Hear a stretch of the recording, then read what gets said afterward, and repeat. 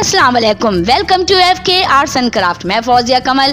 आज की वीडियो इस हिसाब से बहुत ज़्यादा इंटरेस्टिंग और मज़ेदार होने वाली है, क्योंकि बहुत सारे इवेंट्स मैं आज आप लोग के साथ शेयर करूँगी, जिसमें बारबेक्यू पार्टी है, जो कि हमने भाई भाभी के घर अरेंज किया, और जश्न आज़ादी, क्योंकि हमारा प्यारा मुल्क पाकिस्तान चौदह अगस्त को आज़ाद हुआ था तो इसको भी कुछ हमने थोड़ा बहुत सेलिब्रेशन किया है, और हमारी नगमा भाभी ने अपने घर में एक इवेंट मुकर किया, जो कि वलीमा था उनके बेटे का, क्योंकि एसओपी को मद्देनज़र रखते हुए किस तरह से उन्होंने अपने घर में वलीमा अरेंज किया, वो भी मैं आज आप लोगों के साथ शेयर करूँगी। इसलिए एंड तक इस वीडियो को ज़रूर देखिएगा।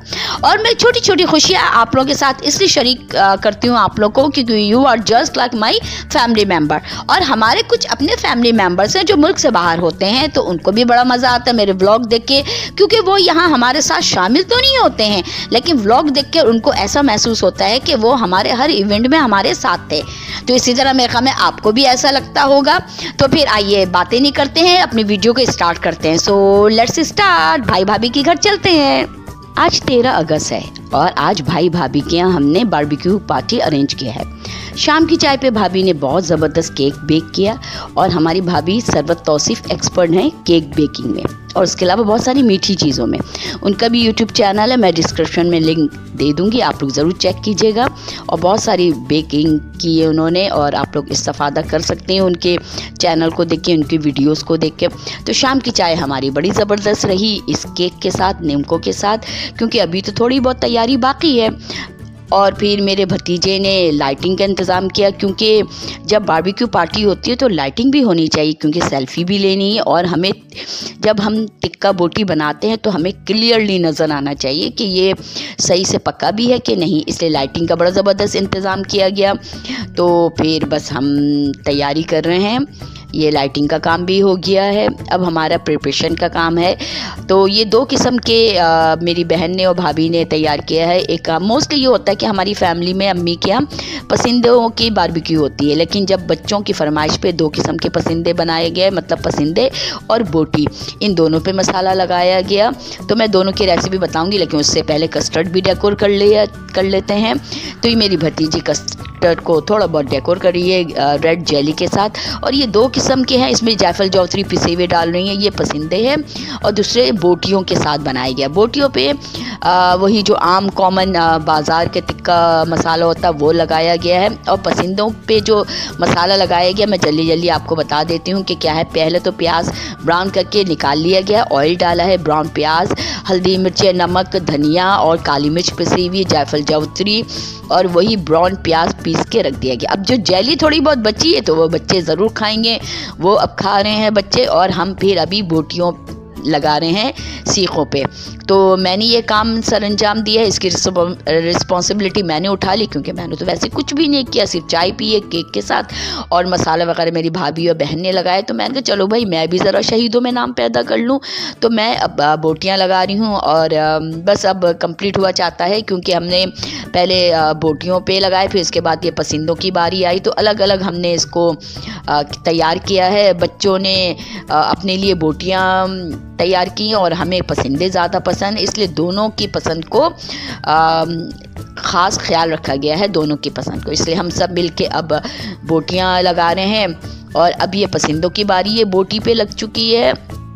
लगा लिया हमने, अब हम पसंदों को तैयार कर रहे हैं और अब बारी को एंड की आ गई है कि मेरा भतीजा और मेरे बहनों ही मिल के अब बारबेक्यू कर रहे हैं। यानी कोयले पे हम ये सीखों को अच्छे से सेक रहे हैं। लेकिन साथ साथ ऑयल भी डालते जाते हैं तो बहुत ही ज़्यादा ये यमी और चटपटा सा बनता है और एक गलावट सा लगता है, इतना खुश्क सा नहीं होता है। तो इसके मसाले भी बहुत ज़बरदस्त हैं। अब हमारा खाना रेडी है और जो कि हमने पराठों के साथ गार्लिक सॉस के साथ, हरी चटनी के साथ, रायता, सलाद के साथ सर्व किया है। और ख़ास बात हमारी फैमिली में कुछ लोग दाल चावल के साथ इस बोटी कबाब को खाते हैं। और ये बच्चों ने सिर्फ़ कैचअप के साथ तैयार किया है, यानी तीसरी डिश भी बनाई है अपने लिए। तो बच्चों की फरमाइशें बहुत होती है और उनको पूरा करना शायद हम पेरेंट्स की ज़िम्मेदारी भी है, स्पेशली जब फुप्पी हो और खाला होती हैं तो वो ज़रूर इन बच्चों की फरमाइशों को पूरा करती हैं। अब कोल्ड ड्रिंक का दौर चला है।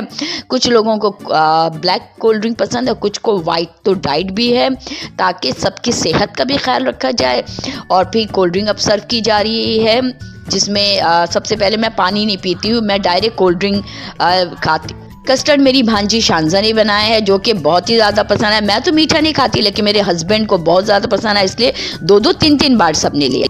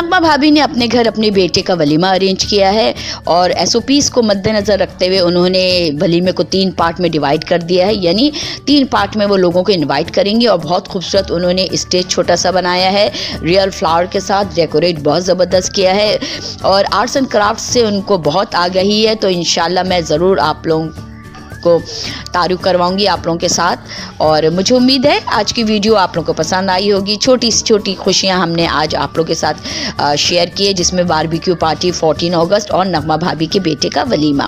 तो आज भी बहुत मज़ा आया है, खाना भी बहुत ज़बरदस्त था, उन्होंने डेकोरेट भी बहुत ज़बरदस्त किया है। और मुझे उम्मीद है आज की वीडियो आप लोगों को पसंद आई होगी। लाइक शेयर सब्सक्राइब ज़रूर कीजिएगा। बेल बटन को ज़रूर क्लिक कीजिएगा। नेक्स्ट वीडियो में कुछ नया लेकर आऊँगी। Thank you very much